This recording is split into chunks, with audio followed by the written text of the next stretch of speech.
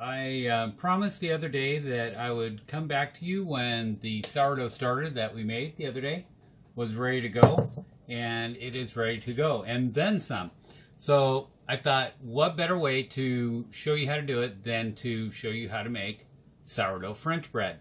I'm going to be dividing this up into a few different videos because otherwise we'd be sitting here for about, oh, three or so hours. And after about the first 25 minutes, we'd be going, so what are you doing?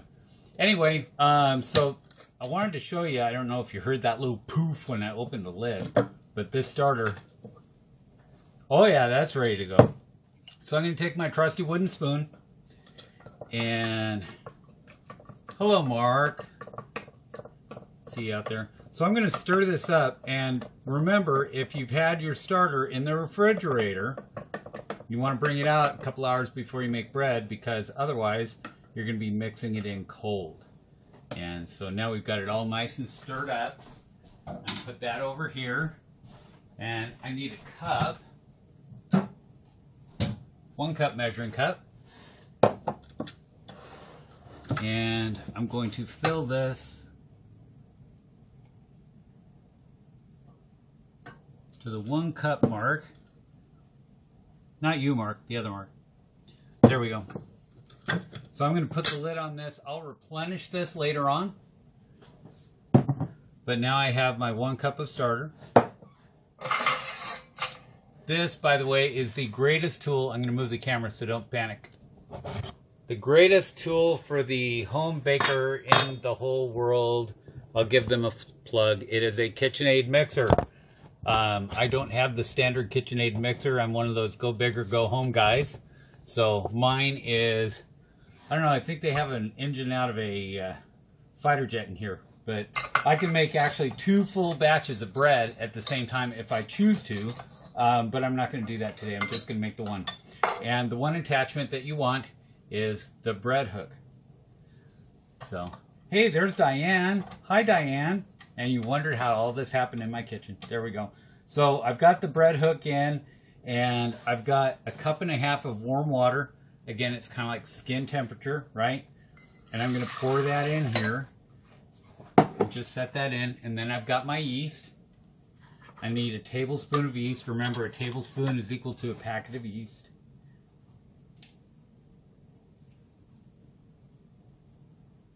I'm going to try not to spill it because I'm over my counter. There, actually perfect, okay? I'm going to sprinkle this in here, and we're going to let that set for a couple of minutes. Um, it gives the uh, yeast a chance to activate. That water and that yeast, it's like power twins activate, right? So I'm to take this, put it, up.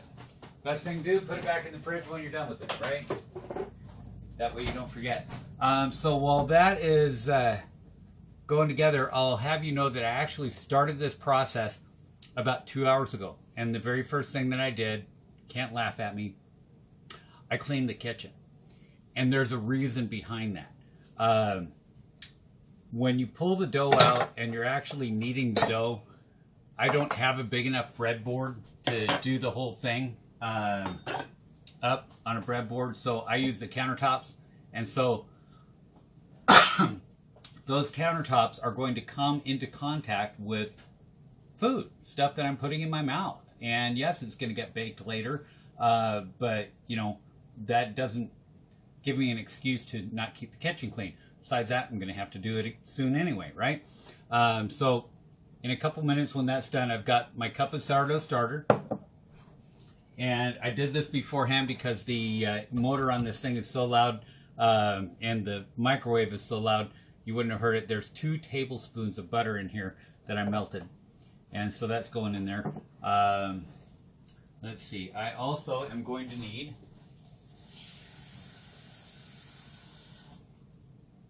my cup of water. And while this is waiting, I'll go ahead and replenish the starter. So I have my flour. And Here's my starter. All I'm going to do with this is I'm going to pour in a cup of water. And then I'm going to pop the lid on my flour. and quarter cup. I'm going to do one, two, three, four. Okay, and that's going to go back in here. I'm going to get the spoon, rinse it off. I'm going to do the same thing I did when we made this. And stir it all up, get all the lumps out as much as I can. And then this, I have a new lease on life. I have three more days. Two, three days. Three days from now. Yeah, three days from now is Christmas Eve day. I don't know if I'm going to be baking anything Christmas Eve day. Anyway, it's all cleaned up, all looking nice. And I can put Mr. Icky Spoon in the sink. And then just put the lid on this, and we're back. All right, so this has pretty much settled in. If I took the camera and pointed it down there, you'd see that most of that yeast is really moist. So I'm going to pour in my butter, and that goes in the sink. I'm going to pour in my sourdough starter. Okay, that goes in the sink. And then let's see, I need two tablespoons of sugar. So I have my sugar container here.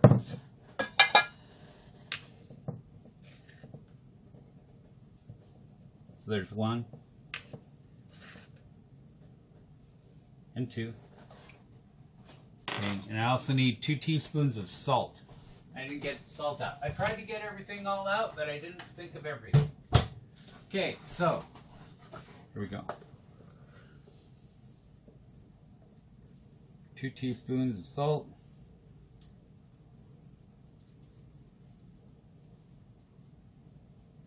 You get stepped on. Harley decided he's to come pay me a visit in the kitchen. He sees Dad's talking to himself. What's the crazy old man doing? Okay, so I got two teaspoons of salt. I'm to take any salt and sugar and stuff that I spilled, and I'm going to scoop that up because I don't want that getting in the bread because this is where I'm going to be kneading dough. Um, okay, so we've got this all up. All that's in there. And I'm going to start this. I apologize if this is too loud. Hopefully it won't be. Okay. So I've got that going and I need, let's see, total of five to six cups of flour. I'm only going to do five and a half. So I've got half cups. But I'm going to start off with four. So I'm going to do eight of these. I'm going to go one, two, three, four. I know you're bored. Don't be. Five, six, seven. Ooh, almost lost cup. And they say there's no action in the kitchen. There we go. There's eight. Okay. So, and take that out. Let me get out one of my nice little scrapers and kind of push everything down. I'm going to turn this up a little bit higher. Apologize if it's loud.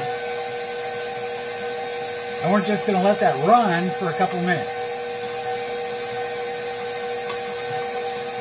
And what that's going to do is all that flour that I put in there is going to get mixed up and it's just going to be, it's going to be a dough, but it's not going to be even loose enough to pull out. So when you look down in here and you start seeing it stick to the sides, you can turn it back down a little bit, let it get mixed up.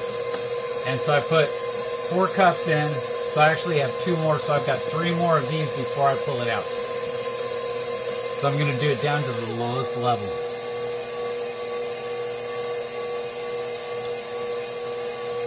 Ooh, there, that's a really good shape. Okay.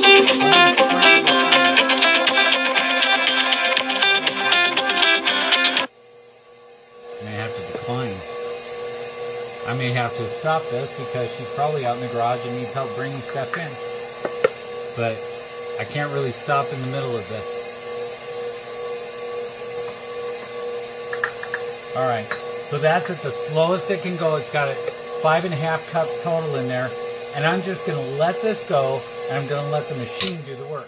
Um, and then that's going to save my arms and my wrists a whole lot when it comes time to knead this stuff. Anyway, um, after this is kneaded, when I pull it out of the bowl, um, after you get it kneaded, you have to grease up the bowl with Crisco and you put it in and twist it around and you get it in the bowl and you cover the bowl and you leave it sit for an hour to an hour and a half.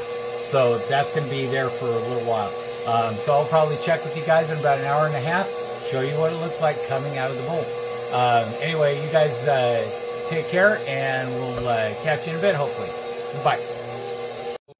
I wound up having to stop earlier, a little bit earlier than I wanted to, because yeah, Carla Sue got home and she needed some help hauling stuff in. So you got priorities, right?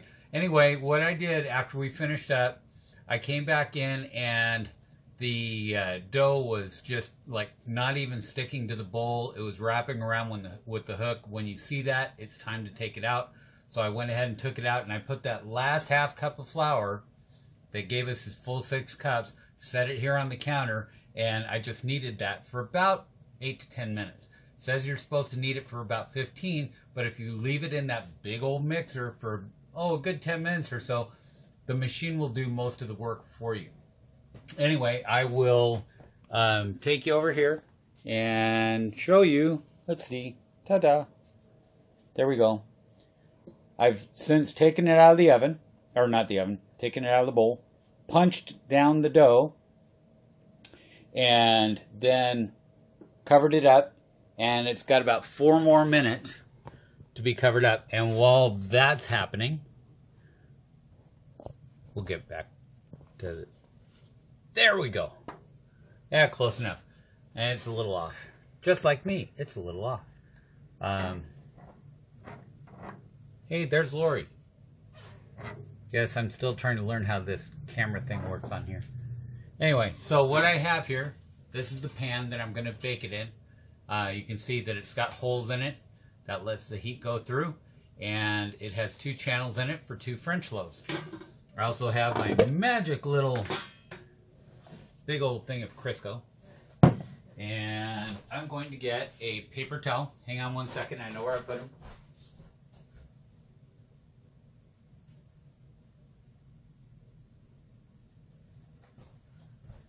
I was cleaning in the other room because I have company coming over they get fresh bread with dinner. Um, so I'm going to take a paper towel and I'm going to drop it down in here and just scoop out. Doesn't have to be a whole lot because all we want to do is we want to coat this. We don't want to leave this like big old chunks of grease hanging on it. We just want to coat it, get a little bit slick, going through in here. And I'm going to do that one more time with the other channel. Get that all nice and coated. Hey, Bob. See, Bob's got to come out here and get some of that homemade bread.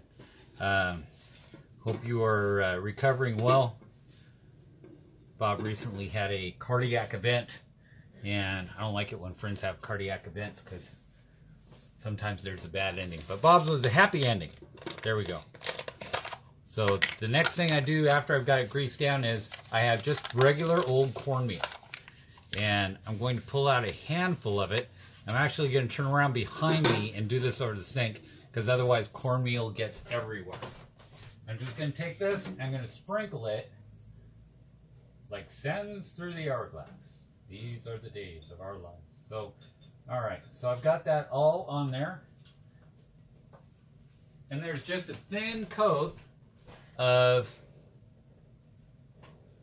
cornmeal on there, and that is going to let those loaves, when they're done baking, just slide right off.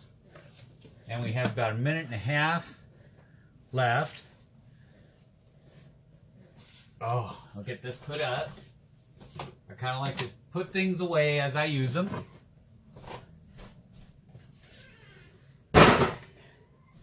See, by the time we get done, you guys can all come over and bake in my kitchen because you'll know where everything is.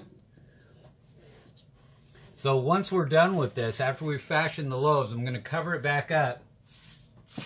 When I put it in the bowl and set it to rise, I used a sheet of press and seal and then put a towel over that. But I can't use press and seal on top of this because it'll be touching the roll or the dough directly. So I'm just going to cover it up with the towel. And we're down to 30 seconds, which is pretty darn close. So I'm going to go ahead and take off the bowl. Take the bowl and set it over in the sink. That's going to get washed. And now you can take a look at the dough. There's the dough. So what I'm going to do is I'm going to cut that into two equal pieces. And drag out big old knife. Promise not to cut myself. Oh, there goes my alarm. And if I don't get it, will come back and beep again. So I've got two half loaves. And I'm just going to take one of these and I'm going to roll it with my hands. Start with the middle and you work your way out. And the only thing is you don't want to get this any wider or longer than the pan. But you want it kind of even. And so by the time you get done, you've got that. And so that fits right in there. I'm going to do the same thing with the other one. And if it looks like there's um, the dough is separating a little bit, just pinch it together. So there's the other one. So now I have both of them. I'm going to just take this, I'm going to cover them up. I'm going to set them over here on top of the stove. And I already have the stove at 170 to kind of keep get it warmed up because that's what the bread was sitting on.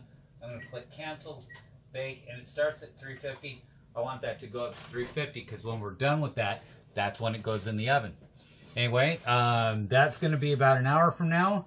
I probably won't do uh, another video when it goes in the oven. Um, before it goes in the oven, all you have to do is spray it down with a spray water bottle which I have one of these, and I put bottled water in it, and you spray down the loaves, and you take like this knife, or preferably you're supposed to use a, uh, uh, uh, like a razor blade, but that knife will work. And you do three diagonal slits on each of the loaves. Then uh, um, after you sprayed it and then made the slits, then it goes in the oven. And it's supposed to go in the oven for let's see, I think it's 32, yeah, 30 to 35 minutes. So I cut it right in half and do 32, 30. And uh, so next video that you'll see is bread coming out of the oven. Anyway, you guys take care. God bless. So in about 30 seconds, the timer's going to go beep. I'm going to go get bread out of the oven. If you guys were here, you just, you would be drooling. It smells so good in here. Um, unless you don't like the smell of sourdough bread. Oh, that would be my lovely wife. Um, but uh, anyway, at least the smell is not permeating out that way too much. Um, anyway, so let's see. 10, 9. Oh, we could be like SpaceX. Okay. Wait, they didn't launch today. Okay, 2, 1, and there we go.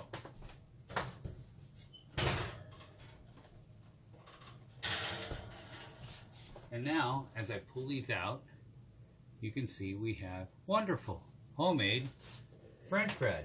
Oh, there's Eddie. I promised Eddie he was going to get one of these. So, uh, yeah, Eddie, if you're uh, watching, um, still watching, go on out to the fence in about five minutes, and I'll I won't I won't throw it like a football because that would be bad. Um, but I'll send one over across to you. Anyway, you guys have a great day. God bless. Bye.